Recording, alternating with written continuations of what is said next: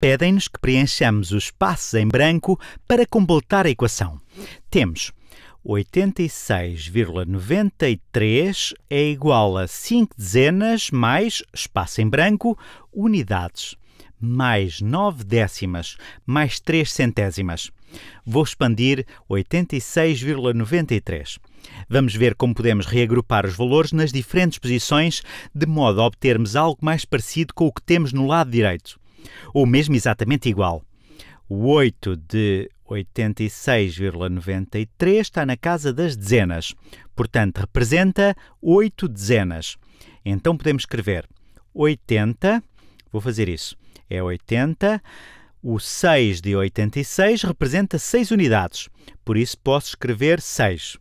O 9 de 86,93 representa 9 décimas. Então podemos escrever, podemos escrever este 9 que está à direita da vírgula como 9 décimas. E o 3 de 86,93 está na casa das centésimas, portanto representa 3 centésimas. Portanto fica mais 3 sobre 100. Já expandimos o que temos do lado esquerdo. Agora vamos expandir o que temos à direita. Isto será igual a. Temos 5 dezenas aqui. Vou escrever todas as dezenas neste tom avermelhado. Depois temos espaço em branco, unidades. Vou escrever um espaço, mais 9 décimas. 9 décimas continuam a ser 9 décimas. Mais 3 centésimas, mais 3 centésimas. Vou criar aqui um código de cores. Aqui temos as 9 décimas, aqui as 5 dezenas, ou seja, 50. Temos espaço em branco, unidades, é este espaço aqui, 9 décimas. E por fim, 3 centésimas. 3 centésimas, mais 3 sobre 100. Como fazemos o lado esquerdo corresponder ao lado direito ajustando este espaço em branco? Ambos os lados têm 3 centésimas. Ambos têm 9 décimas. Portanto, a diferença está que do lado esquerdo, vou usar uma cor que se veja, no lado esquerdo temos 80 mais 6. No lado direito temos 50 mais espaço em branco. 80 mais 6 é, obviamente, 86. Então, o que temos de adicionar a 50 para obtermos 86? Temos de adicionar 36. Temos de adicionar 36.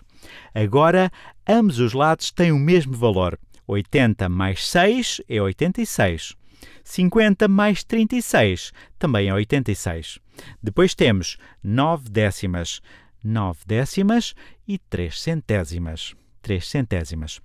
Quando vem o 36 aqui, perguntar-se-ão: será que isto representa literalmente 36 unidades? Sim, representa literalmente 36 unidades. Podemos ver isto como 36 vezes 1. Então podemos reescrever isto assim.